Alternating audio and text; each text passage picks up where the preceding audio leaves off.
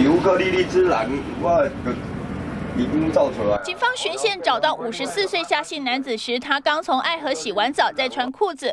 看到警方一点都不慌张，把远景当成了观众，开始昔日街头艺人表演的模样。给我一杯忘情水，我也不用泪。十分起劲，远景还可以点英文歌，现场开启了个人演唱会。英文歌会吗？日本的，日本的。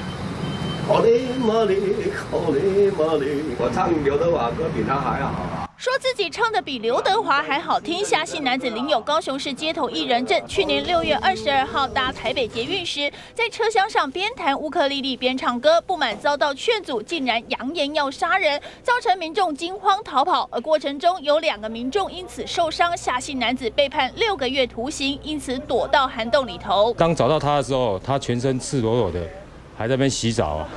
他有如一个山林山林洞人一样的生活。由于夏姓男子在高雄市新爵江表演时常会失控大喊，而金信巡佐常受理他的案子已经见怪不怪，还会弹吉他，两个人在派出所内一弹一唱。夏